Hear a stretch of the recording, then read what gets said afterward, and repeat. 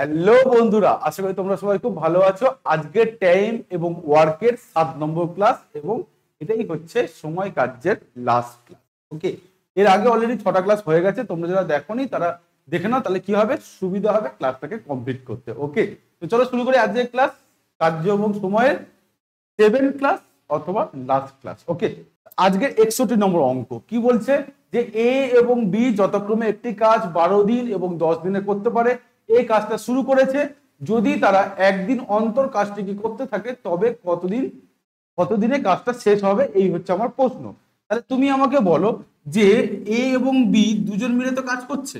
ওকে, এ এক, এই কাজটা কমপ্লিট করছে কত দিনে এ কমপ্লিট করছে বারো দিনে। ওকে, বি কমপ্লিট করছে কত দিনে বি এর সময় হচ্ছে দশ দিনে। তাহলে আমার কাজ কি? এদের প্রথমে এলসিএম করা। এখন তোমরা জানো যে বারো এবং দশে এলসিএম হবে কত? ষাট। সিক্সটি হচ্ছে আমার এলসিএম এবং এটাই হচ্ছে আমার টোটাল ওয়ার্ক ওকে এটাই হচ্ছে কি আমার টোটাল ওয়ার্ক তাহলে আমার কাজ কি এখন? এফিসিয়েন্সি বা কর্মদক্ষতা বের করা। এখন এর এফিসিয়েন্সি কত? না, আমি ষাটকে বারো দিয়ে ভাগ করব দ্যাট ইজ পাঁচ বারো ষাট। বি এর এফিসিয়েন্সি কত? ষাটকে দশ দিয়ে ভাগ করব, তাহলে হবে ছয়। ক্লিয়ার এই পর্যন্ত কোনো কারোর অসুবিধা থাকার কথা নয়। কারণ কি, এইগুলোই আমরা বারবার করে এসেছি, তাই না? এবার কি বলেছে? এখানে একটা গল্প বলেছে। সেই গল্পটা কি? না এ আর বি একসঙ্গে কোনোদিন কাজ করেনি। যেদিন এ কাজ করেছে, সেদিন বি করেনি। যেদিন বি করেছে, সেদিন এ করেনি। অর্থাৎ অল্টারনেট ডেতে এরা কাজ করেছে। এবং কাজটা শুরু করেছে কে? কাজটা শুরু করেছে এ ওকে তুমি ধরো এটা এ কাজ করেছে, একদিন কাজ করেছে চলে গেছে। এরপরের দিন কে এসছে? বি সে কাজটা করেছে করেছে চলে গেছে। আবার এ করেছে, আবার বি করেছে, আবার এ করেছে, আবার বি করেছে। এইভাবে তারা কাজ করতে রয়েছে।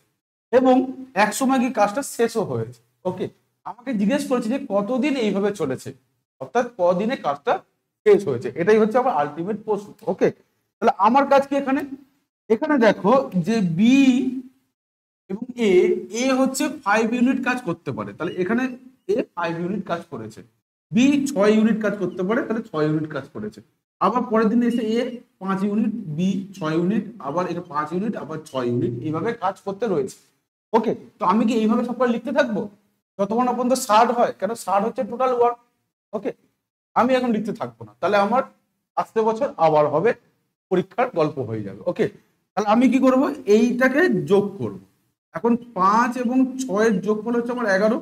তাহলে এগারো ইউনিট কাজ ওরা দুদিন ধরে করে। কি বললাম? এগারো ইউনিট কাজ ওরা দুদিন ধরে কাজ করেছে। একদিন এ করেছে, একদিন বি করেছে। তো এরকম এগারো কতগুলো আছে টোটাল কাজের মধ্যে সেটা বের করে নিই। সেটা কীভাবে বের করব?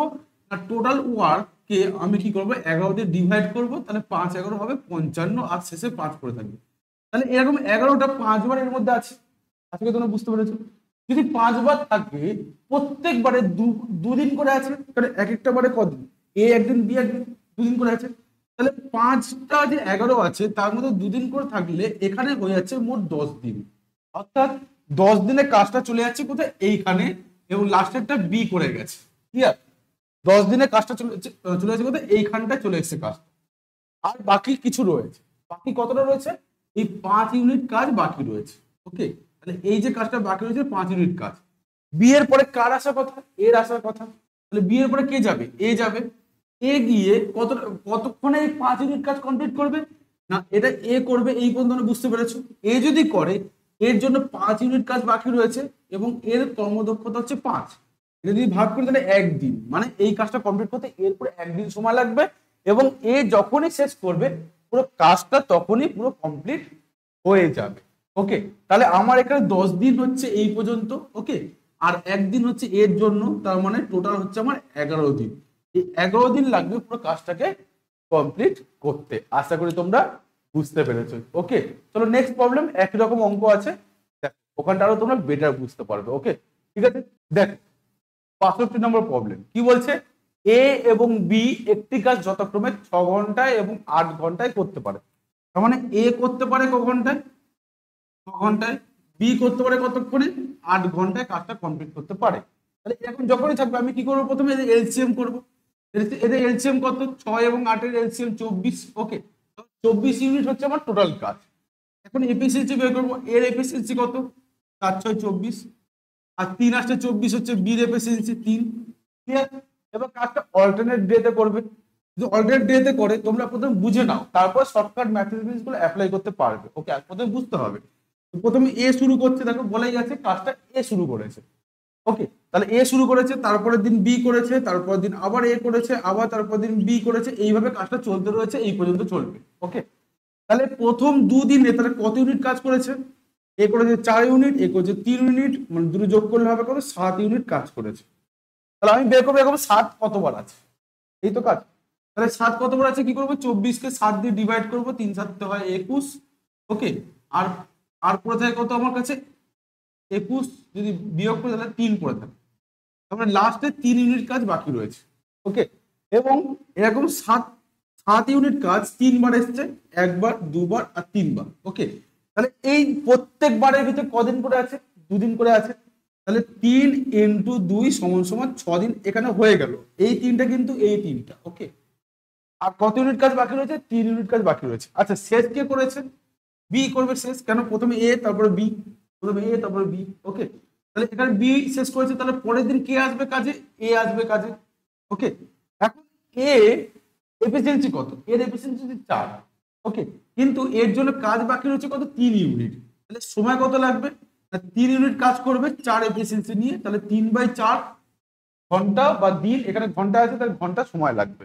তাহলে অলরেডি এই পর্যন্ত আমার ছ দিন সময় লেগে গেছে। আর এর কত লাগবে?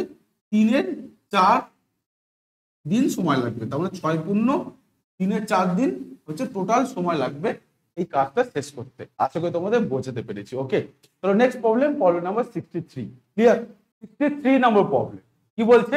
এ ও বি যতক্রমে একটি কাজ শুরু করেছে এবং দিন এবং বারো দিনে তারা করতে পারে। মানে এ এবং বি একটি কাজ দিন এবং বারো দিনে করতে পারে। এই কাজটি যদি শুরু করে, তারপর একদিন অন্তর তারা কাজ করেছে কতদিনে কাজটা শেষ হবে? তাহলে একই অঙ্ক আমরা সেম ভাবে করব। ওকে এ আর বি দুজন আছে। এ আছে আর কি আছে বি আছে। ওকে এর এই কাজটা কমপ্লিট করতে কদিন সময় লেগেছে? এর লেগেছে ন দিন আর বি এর লেগেছে হচ্ছে আমার বারো দিন। ওকে এখন কি করব? এদের এলসিএম করব। নয় এবং বারো এলসিএম তোমরা জানো সবাই ছত্রিশ হয়। ওকে তাহলে ছত্রিশ হচ্ছে আমার টোটাল ওয়ার্ক এখন এর এফিসিয়েন্সি কত? না ছত্রিশকে নয় দিয়ে ভাগ করে থাকবে চার। ওকে, এবং হচ্ছে ছত্রিশকে বারো দিয়ে ভাগ করে থাকবে তিন, তাহলে চার এবং তিন হচ্ছে এ আর বি এর এফিসিয়েন্সি ক্লিয়ার আসলে তোমরা বুঝতে পেরেছ? ওকে, এবার কি হয়েছে? তারা অল্টারনেট হিসেবে কাজ করছে। প্রথমে এ শুরু করেছে, যদি এ শুরু করে, তারপরে বি করবে। ওকে, এই দুদিনে তারা কাজ করেছে কতটা? চার প্লাস তিন সমান সমান সাত ইউনিট কাজ করেছে। এই সাতটা কতবার আছে এখানে? না ছত্রিশের মধ্যে কতবার আছে? না ছত্রিশ ভাগ সাত সমান সমান পাঁচ সাততে পঁয়ত্রিশ।